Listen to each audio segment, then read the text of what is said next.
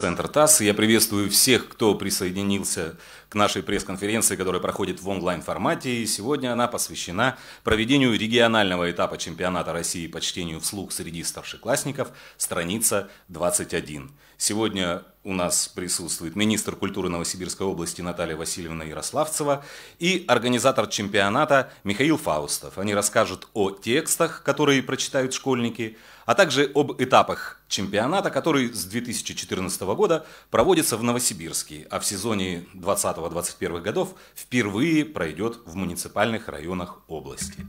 Э, предлагаю начать. Наталья Васильевна, вам слово. Здравствуйте всем, коллеги. Спасибо большое, что вы пригласили нас по такому важному вопросу, вообще как чтение. А уж подростковое детское чтение – это, можно сказать, боль всей России. Когда-то нас всегда называли самой читающей страной в мире. Потом мы с вами все меньше и меньше видим в электричках, в транспорте и прочее, но зато видим больше электронные гаджеты. И сейчас очень трудно понять, так много читают вообще или мало – этим мы задались вопросом много лет назад. Когда-то Михаил Фаустов пришел ко мне, и мы хулиганский, почти что любимый конкурс проводили тогда «Открой рот». Он был для взрослых людей. И хочу сказать, и много слез, и радости было с этим конкурсом. И вот все-таки Михаил очень последовательно двигался. И мне нравится, что он не оставлял эту тему – и все-таки мы говорили о проблеме, которая нас волнует, это подростковое детское чтение. Потому что мы прекрасно понимаем, что сегодня очень много занимают гаджеты электронные, телевизионные, интернетные разные сюжеты, и практически книгу в руках уже мало кто держит. Что нас волновало?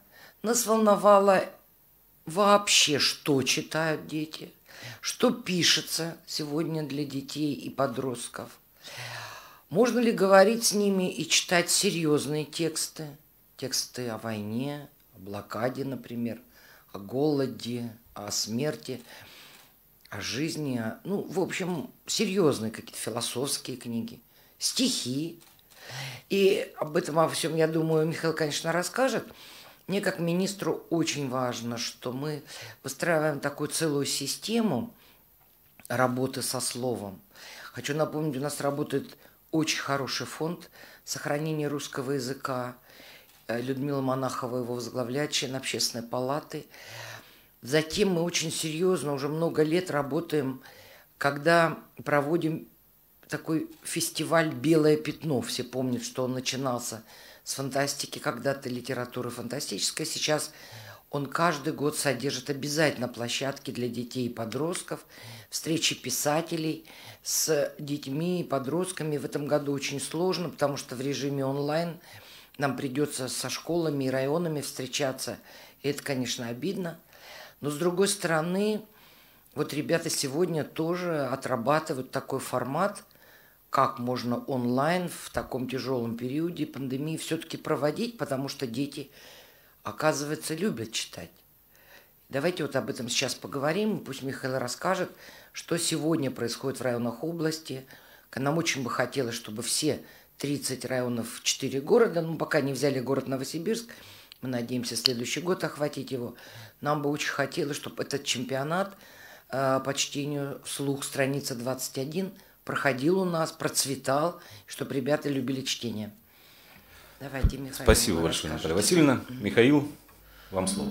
Здравствуйте. Спасибо, Наталья Васильевна, за добрые слова. Э, ну, наверное, я не буду сейчас углубляться в историю вопроса, хотя, конечно, да, довольно странно, что проект, зародившийся в Новосибирске, э, распространился на практически всю страну и на несколько, там полтора десятка зарубежных стран – но в Новосибирской области, именно в, в области, а не в Новосибирске, он не проходил.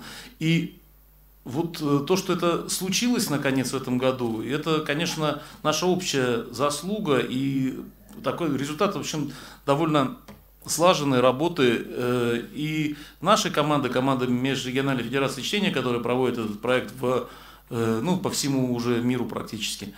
Э, и Министерство культуры Новосибирской области, которое ну, всячески поддерживает и поддержало и поддерживает этот проект в его, всех его проявлениях. Э, немножко, наверное, о цифрах. Э, проект стартовал на прошлой неделе, уже прошли три отборочных тура в Карасукском районе, в Черепановском и в городе Обь. Э, вот, причем в городе Обь нам удалось его провести в очном режиме. Я, поскольку находился в Новосибирске, я туда съездил, и, в общем, там было все прекрасно. В ДК «Крылья Сибири» проходило, э, пока еще было можно. Сейчас уже я чувствую, что, скорее всего, все придется переводить в онлайн.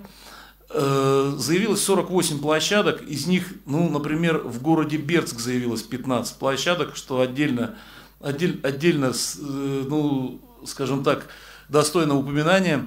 Бердск, в принципе, город, который, у которого очень большое, на мой взгляд, будущее не только в именно в литературном плане, в плане книжной культуры, не только внутри Новосибирской области, но, мне кажется, уже э, и в более широком масштабе, чуть позже я к этому вернусь. Сейчас пройдут э, у нас 48 э, отборочных туров, которые завершатся в конце ноября.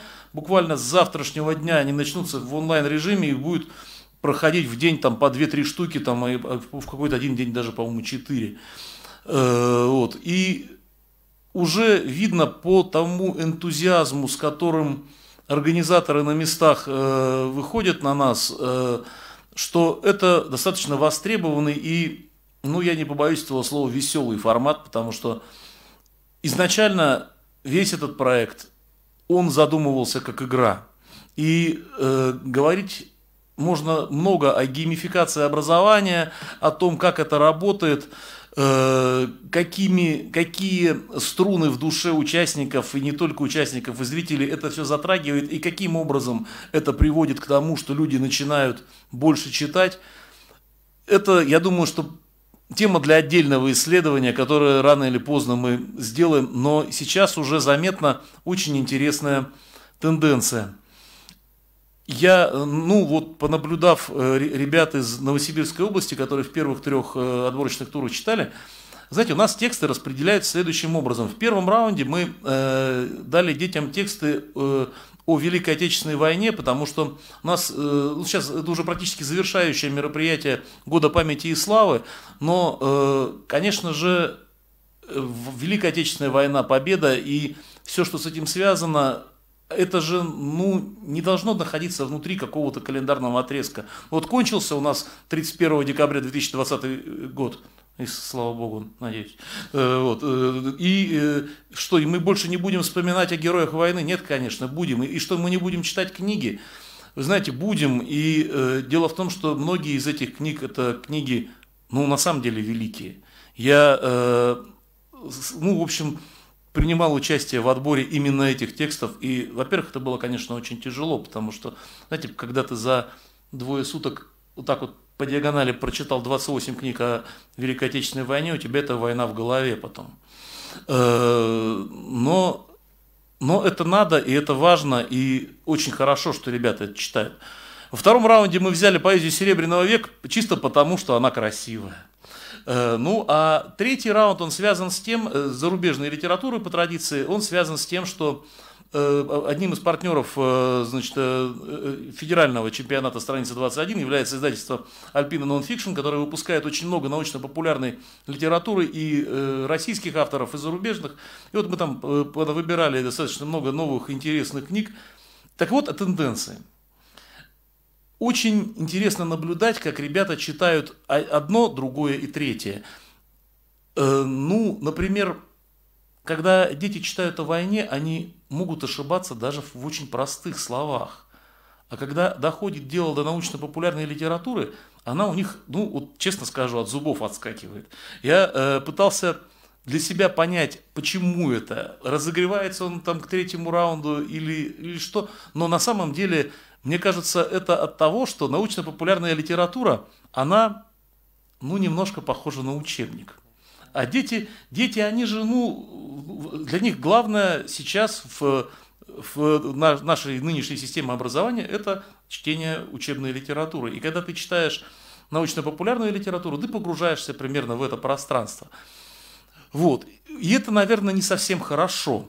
Вот то, о чем говорила Наталья Васильевна, что э, я могу, наверное, сейчас, э, ну, это публичные данные, все это знают, по исследованиям уровня качества э, понимания текста и качества детского чтения в возрастных группах э, в Российской Федерации есть очень серьезный, серьезный перекос.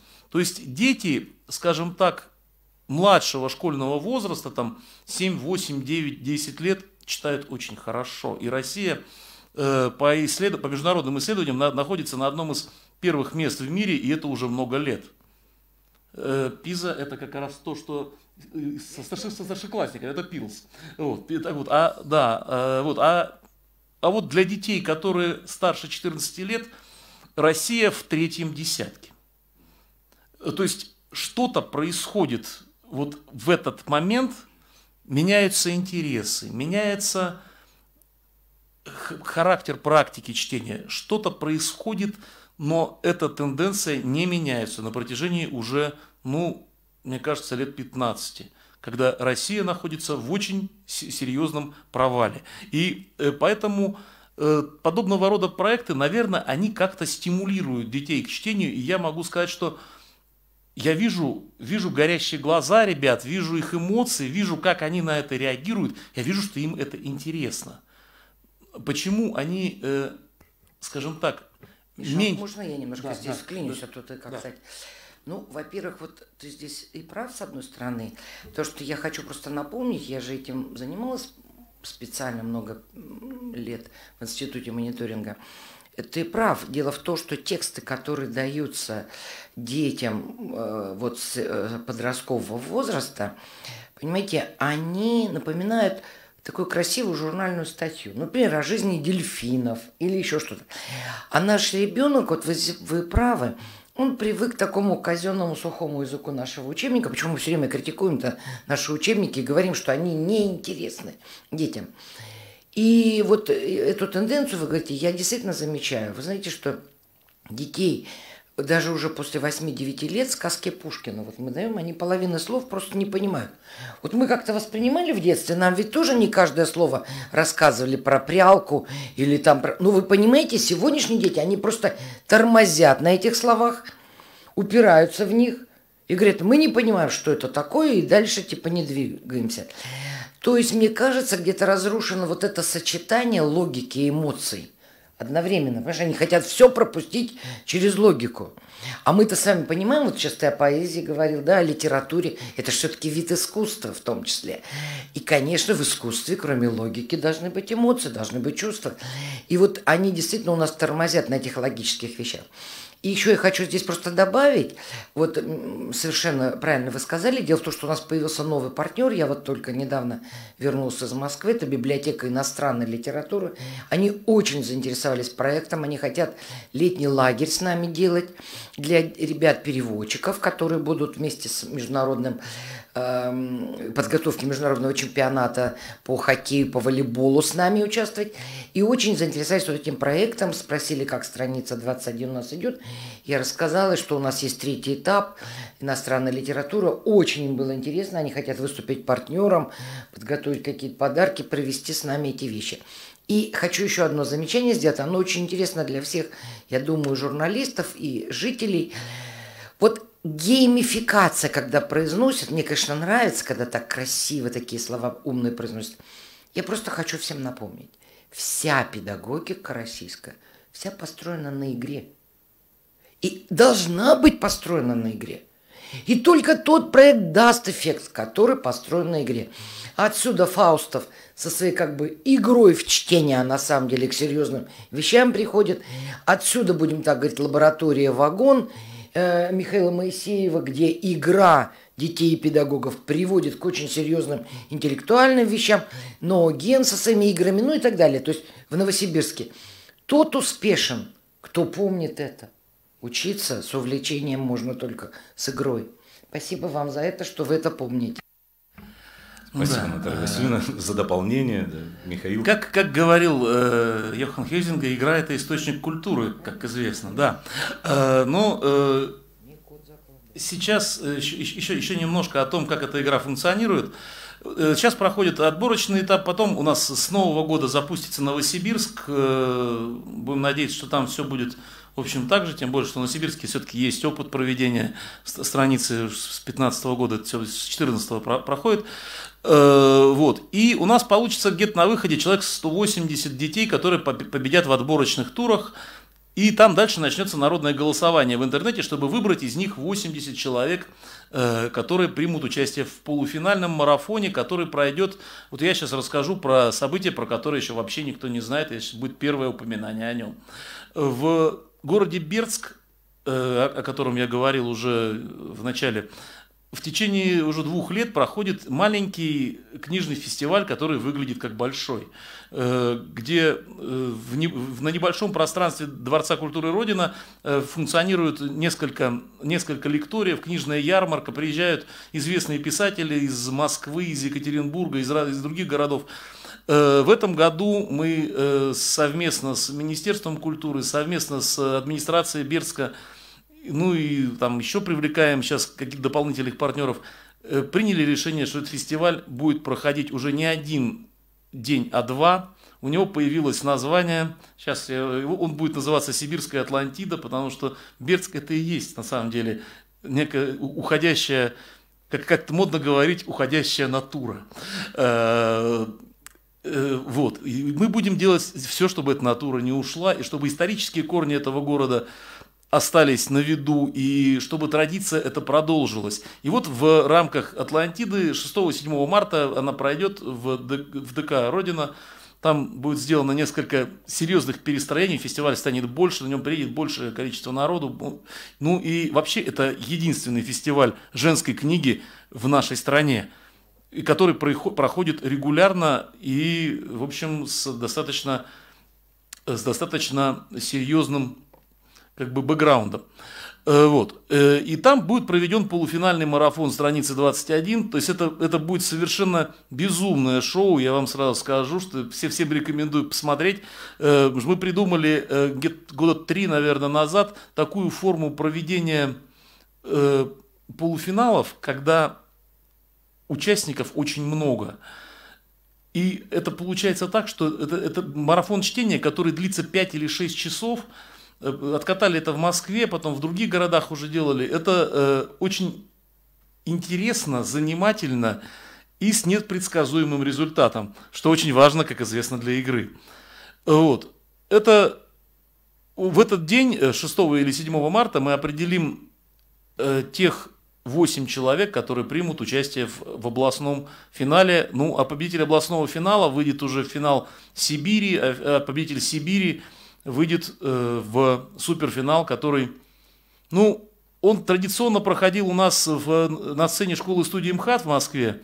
Кроме 2020 года, по понятным причинам, все это перенеслось в онлайн, перенеслось в Московскую международную книжную ярмарку, э, где будет в 2021 году ну дай бог, мы вернемся в Амхат, потому что с Амхатом я буквально недавно значит, разговаривал. Они говорят, да, конечно, куда же мы без тебя денемся? Э, ну, э, собственно, и еще, наверное, одну вещь я хочу рассказать, чтобы уж все новости сразу выложить и дальше перейти к вопросам. Очень часто нас, э, организаторов, спрашивают, а почему именно 14 плюс? Вот у меня э, Маша, ей 11 лет, она тоже хочет. И были у нас случаи, как знаете, как э, в гражданскую войну, когда люди себе пририсовывали лишний год, чтобы пойти полком командовать. Вот э, буквально в прошлом году была такая история в Красноярске, когда мальчишка 13-летний э, вписался и пришлось как бы ему выступать со взрослыми, реально обманул организаторов.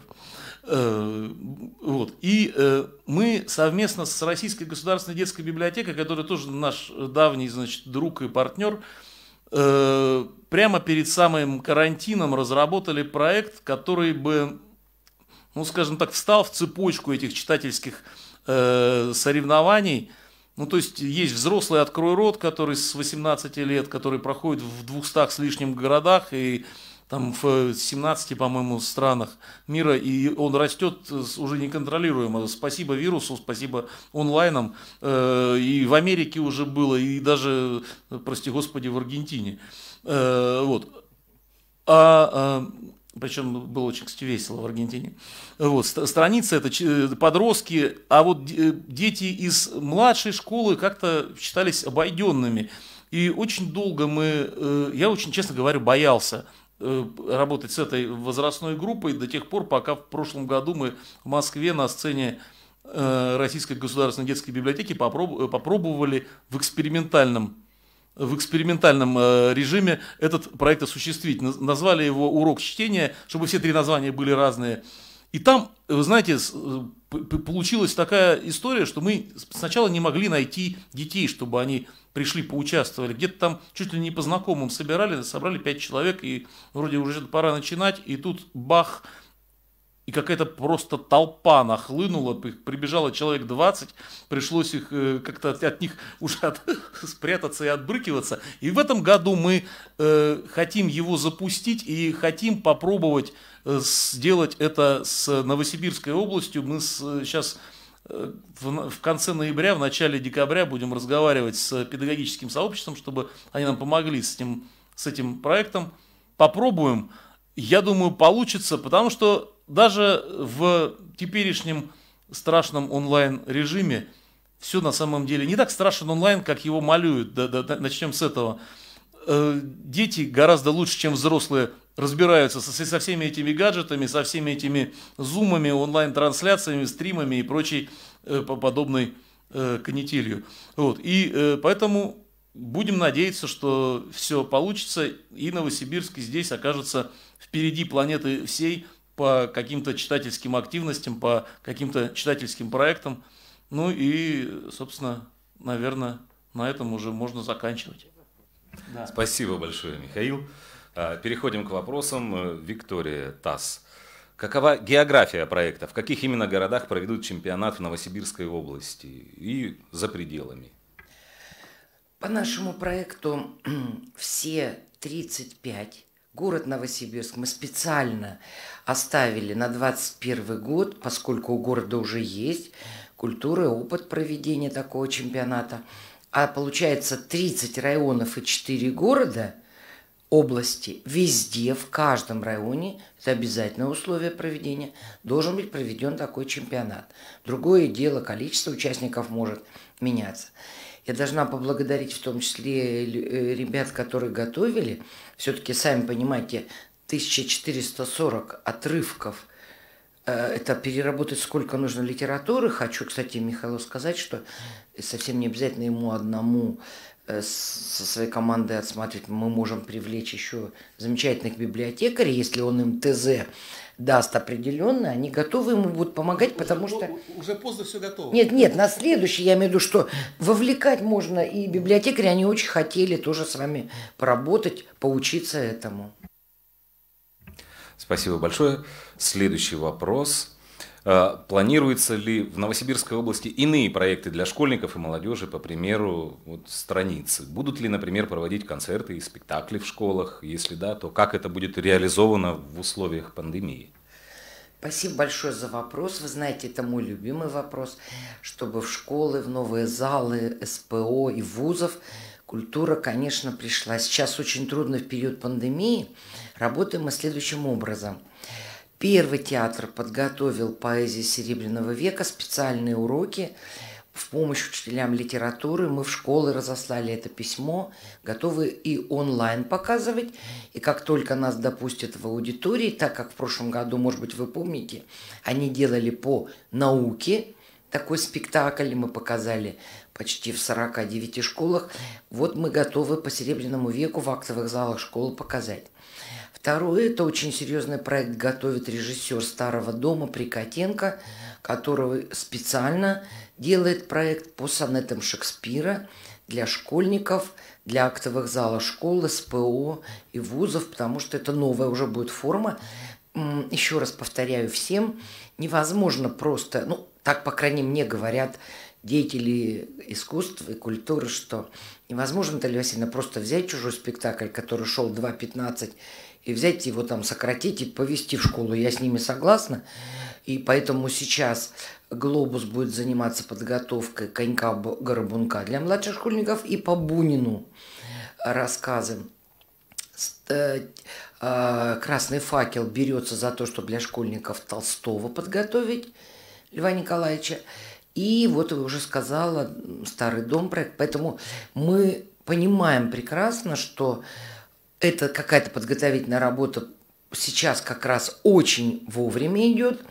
Что-то онлайн, что-то мы берем, естественно, из классической, уже подготовленной, уже в онлайн, так сказать, в сетях все это есть. Литераторам, историкам, педагогам мировой художественной культуры мы предлагаем.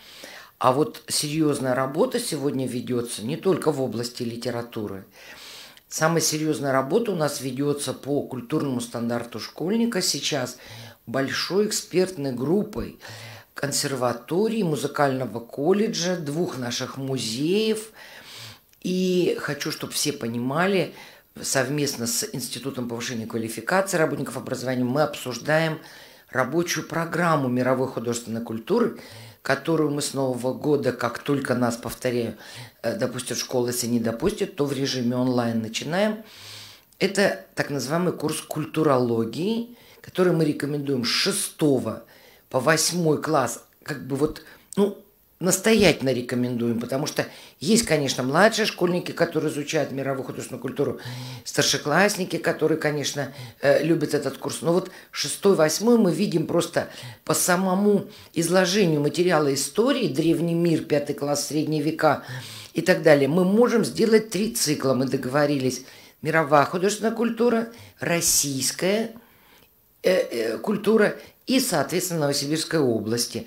И вот такие вот три блока мы сейчас выстраиваем, чтобы все понимали, это очень серьезная работа, педагогическая и научная, потому что мы адаптируем и потом сразу записываем этот материал с видеоконтентом с нашим замечательным центром креативных индустрий. Им в госзадание это будет добавлено. Кстати, должна сказать о центре, что он сейчас подключен и к конкурсу «Страница 21», к его проведению – потому что Центр креативных индустрий как раз и создавался как штаб, будем так говорить, для работы с подростками и юношеством, потому что это наша сегодня очень важная задача, которую нам показалось надо вычленить прямо вот в отдельное направление. Спасибо большое, Наталья Васильевна. А, уточняющий вопрос от Натальи Шаталовой, vn.ru. Не могли бы вы уточнить сроки проведения чемпионата и сколько заявилось участников? Михаил, к вам вопрос. Э, вот сейчас, прямо сейчас э, идет отборочный этап по Новосибирской области. Он закончится в конце ноября. Э, может быть, немножечко залезем на декабрь в связи со, со всеми ковидными делами. С середины января стартует Новосибирск. Соответственно, народное голосование будет где-то в середине февраля. Э, в начале марта, как я уже говорил, полуфинал в Бердске на книжном фестивале «Сибирская Атлантида». И в апреле-мае, мы пока еще не, не, так далеко не прогнозируем, э, в апреле-мае пройдет финал Новосибирской области. Ну а там дальше а, а, участ, а участников, э, ну, 48 э, площадок в среднем по... Это, это, это, это я сейчас только про муниципальное образование, про Новосибирск отдельно можно говорить. Там 48 э, площадок на каждой, по, ну, в среднем по 10 человек, хотя на некоторых там и по 15, и там даже, по-моему, у кого-то 18 есть. Ну, в среднем считаем по 10-48 площадок, ну, там без малого 500 человек детей в Новосибирской области. Ну а в Новосибирске 179 школ, ну там по, по из практики где-то штук, наверное, 120-150 будет участвовать. Э, ну вот считайте полторы тысячи. Вот я хочу добавить здесь, конечно, мы мечтали, что сначала у нас в классах как бы пройдет отборочный такой, и каждый класс делегирует своих вот, ну, замечательных ребят вот этого возраста. К сожалению, у нас не получилось именно вот такой большой волны, ну и именно потому, что детей перевели на дистант. Но мы считаем и это достойно для того, чтобы стартануть, показать ребятам, как это интересно, и вовлечь, и каждый год действительно расширять географию. Спасибо большое. Э, еще от Натальи вопрос. Предусмотрен ли какой-то призовой фонд в чемпионате? Что ожидает победителя всероссийского этапа, кроме выступления на сцене МХАТ? Ну, у нас по традиции, э, э, значит, во-первых, сразу скажу немножко в этом виде спорта так, так мы его изначально планировали, отсутствует третье место. Все ребята, которые проиграли что на отборочном этапе, что на сцене школы студии МХАТ, они все занимают второе место в чемпионате страницы. Там что 20, что 21, неважно. И они дипломы получают за второе место все. Э, вот. Потому что, как известно, из популярной песни победитель получает все. Победитель получает главный приз, это 300 тысяч рублей наличными. Это традиционно, в общем, каждый год. И там самое интересное, что дети делают с, с этой кучей денег – Потому что, ну, была девушка Наташа Лях из Москвы, которая просто взяла эти 300 тысяч и поделила между своими соперниками по финалу. каждому перевела по 42 700 с чем-то там рублей. И, в общем, я всем детям, кто участвует, я говорю, не будьте, пожалуйста, такими, как Наташа, забирайте деньги себе. Спасибо большое. Нет, ну, конечно, я хочу сказать, областные соревнования будут. Понятно, что у детей будет э, подарки, будут наши библиотеки, конечно, обязательно будут участвовать. И обязательно мы им поощрим. Мы же сейчас о всероссийском говорили. Конечно, в области нам очень хочется тоже. Да, и книги отправляем, и замечательные какие-то сертификаты будут. Обязательно награждение, ребят. Потому что, ну, в любой игре, в соревновании, конечно, должны быть подарки. Спасибо большое. Э, еще один вопрос. Алексей Кудинов, ОТС. Добрый день. Заинтересованы ли в чемпионате учителя литературы в области? Контактируют ли с ними организаторы? Готовят ли педагоги детей? Или участники чаще находят информацию сами, подают заявки и готовятся? Это на самом деле интересный вопрос. Спасибо большое. И э, у нас устроена сейчас система так, что в области э, организаторами выступают э, обычно библиотеки, либо какие-то культурные центры, либо молодежные центры. То есть в школы это не идет. И они собирают детей э, именно из тех детских сообществ, которые, которые как бы крутятся вокруг этих культурных центров, вокруг библиотек.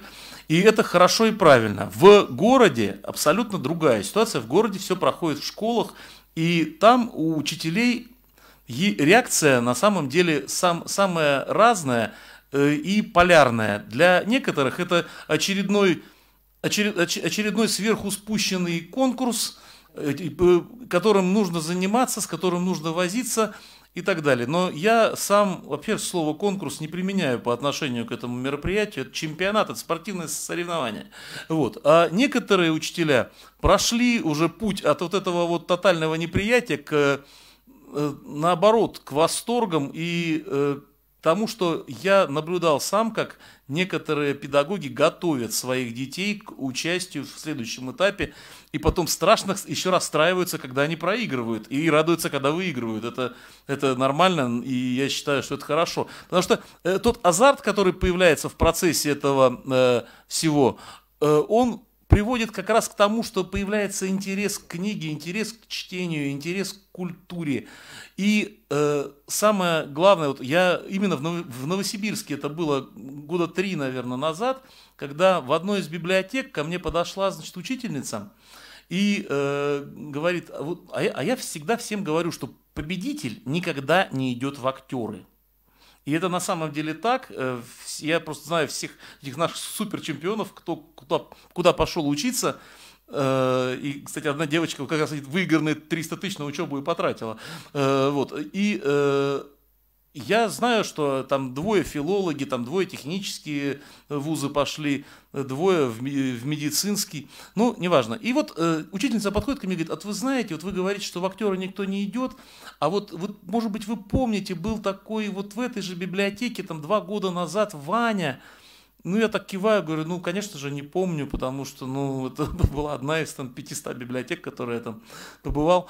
Э, она говорит, вот вы знаете, Ваня э, в главной роли в фильме Собибор у Хабенского снялся. Я говорю, ну да, ну, очень круто и классно. Э, вот. Ну, я говорю, а какое место он здесь-то занял? Она говорит, ну, 15 -е. А вы знаете, вот я очень рада, Михаил, выключите, чтобы не фонило. Вот я рада, я педагог, вроде Михаил же по специальности не педагог, но вы знаете, я рада, что он это просто интуитивно чувствует. А я как министр культуры просто обязана это сказать. Вы знаете, невозможно проводить мероприятия, не нужно, если они ложатся дополнительным бременем на плечи педагогов. Я сама директором школы все-таки была почти 17 лет. И должна сказать, что э, если вы хотите что-то загубить, просто спустите это сверху вот в школе. А вот если вы хотите развить, вы делаете, совершенно верно выразился Михаил, в околошкольных, околокультурных, околобиблиотечных сообществах, пространствах, вовлекая детей, э, соратников, э, сверстников. И тогда они с интересом прислушиваются к этому. О, это вроде как не в школе. И даже если мы будем потом финал или что-то проводить в школе, то мы это будем повторять делать не через урочную вот эту деятельность, обязаловку, я преклоняюсь перед работой педагога в этом смысле знаю действительно, насколько они перегружены разного рода э, необходимыми, очень важными вещами и отчетностью. Поэтому мы как раз хотим здесь помочь, как раз помочь, сделать так, чтобы детям стало интересно, а педагог может прийти как гость. Это будет здорово. Спасибо большое, Наталья Васильевна. Еще к вам один уточняющий вопрос от Виктории Стас. Э, просит поподробнее рассказать про летний лагерь для переводчиков, который был упомянут. Где расположит, когда планируется создать, в чем его актуальность? Значит, поскольку я не могу сейчас говорить о деталях, это предложение мы обсуждали буквально 4 дня назад, как я вернулся, мы сейчас над ним работаем. Но мы договорились, что это с библиотекой иностранной литературы совместный лагерь, конечно, наша областная библиотека тоже будет участником, и мы проработаем все эти механизмы. Вы знаете, что мы имеем сейчас замечательную лингвистическую студию в Пирсон у нас в областной научной библиотеке. Мы уже начали подготовку переводчиков, педагогов и желающих на английском. Затем у нас в российско-немецком доме немецкий язык уже идет. Там волонтеры у нас получили грант на это. Хочу сказать, мы активно привлекаем. Сейчас хочу, чтобы вы нам помогали. Мы привлекаем людей, которые на э, правах волонтеров, участников готовы будут к 2022 году подтянуть свой иностранный язык с нами вместе, для них это бесплатно, но на условиях, что они готовы будут работать с нами переводчиком для иностранных гостей, для команд иностранных. Мы сегодня получили приглашение от языковых школ города Новосибирска, их владельца, у которого шесть почти школ, который готов нам сегодня, спасибо ему огромное, помочь тоже делать это бесплатно, но с интересом просто, что они тоже будут ну, участвовать, потому что им это очень важно. Они сами любят хоккей, волейбол. Что касается иностранной литературы, то здесь как раз мы с Михаилом вот сейчас видим вот эту вот часть, потому что в детали мы должны проработать по ходу чемпионата. И думаю, к весне, вот как раз, чтобы вот эта третья часть у нас иностранной литературы заиграла. И, э, повторяю, партнером выступила библиотека иностранной литературы. А по лагерю, дело в том, что предложений сегодня очень много. Сегодня спортсмены все предлагают нам вместе с культурой Э, с ребятами проводить э, выездные спортивные такие вот лагеря и в сфере культуры и искусства. Мы, кстати, согласны, мы считаем, что это очень разовьет наших детей, придаст новые совершенно звучания такому гармоничному развитию личности – ну и вот также будем прописывать детали, попозже расскажем вам потом, какие там будут нюансы. Я, кстати, жду разных предложений от наших как раз от Центра креативных индустрий, от Михаила, от наших библиотек, ну, потому что они больше с этим работают, и важно услышать людей. Спасибо большое, Наталья Васильевна. Еще один э, уточняющий вопрос от Виктории и Стас. Когда перечисленные спектакли будут готовы для показа в школах? Я так понимаю, это про э, упомянутый подготовленный Первым театром. Первый театр уже начал свою работу. Мы разослали всем, и, по-моему, там уже несколько школ откликнулось. 16-го вот вышли ребята на учебу онлайн, мы можем уже онлайн показывать. Но, повторяю, актерам очень хочется все-таки офлайн прийти в аудитории. Вообще, понимаете, живые глаза, конечно, реакция слушателей, зрителей для нас очень тоже важна. Но, повторяю, этот проект готов. Сонеты к 2021 году, я так понимаю, к началу, по крайней мере, обязательства такие на себя брал наш режиссер. Э, в обязательствах э, «Красного факела» и «Глобуса» тоже стоит 21 год.